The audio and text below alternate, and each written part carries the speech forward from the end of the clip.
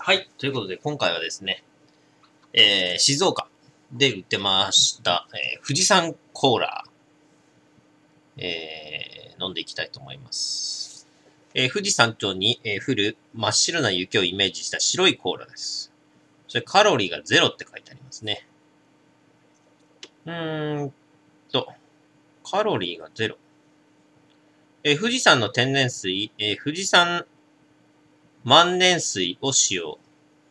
えーモンドセレクションで、モンドセレクションで金賞を受賞した富士山の天然水。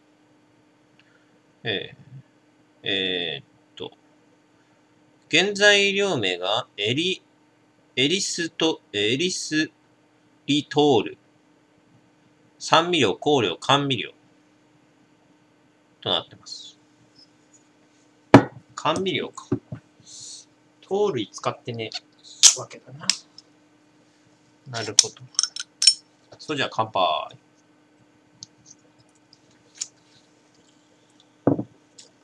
あ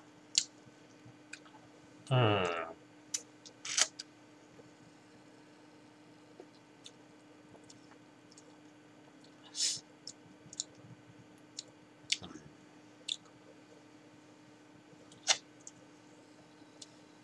あ、あれ、あれだわ。あのね、アイス。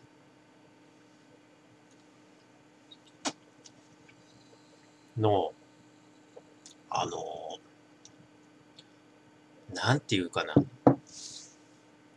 カップアイスみたいので、あのガリガリの氷が入ってるやつで、なんか真っ白い、なんかシロップだけのやつっていうか、のあるじゃないですか。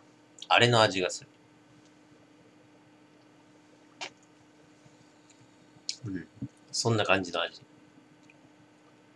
大してうまくねえ。なんか、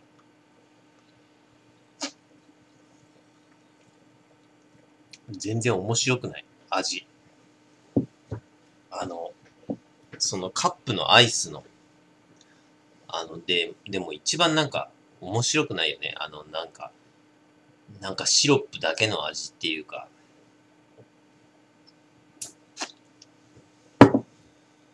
そういうやつあると思いますけど、なんか真っ白いやつ。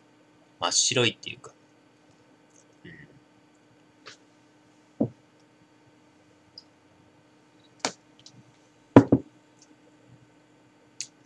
ん。なんか、かき氷に、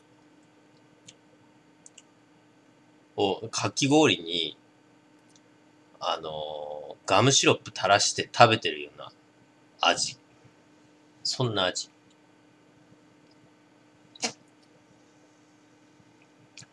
まずい。まずいってこともないんだけど、全然面白くない。面白みのない味だね。